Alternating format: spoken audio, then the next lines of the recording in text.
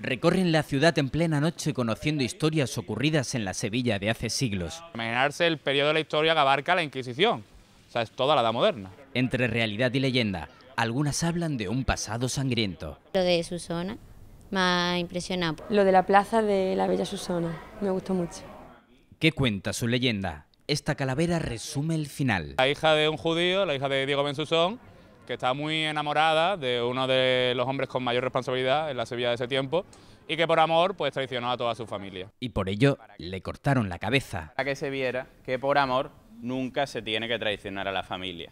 La Ruta por la Sevilla Encantada es el proyecto de tres jóvenes emprendedores que hasta ahora ha tenido buena acogida de público. Puede ser que alrededor de unas 5.000 personas contando que semanalmente son unas 200 y vamos desde el mes de abril. Da unar esfuerzos para que esto sea un medio de buscarse la vida sin tener que irse a ninguna otra parte o sin tener que depender de otro y siempre haciendo algo que de verdad a uno le gusta, de verdad uno tiene interés.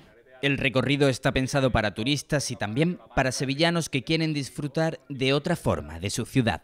Me ha gustado mucho visitarlo por la noche porque yo siempre lo había visitado por el día y me parece una buena idea. Un barrio muy bonito.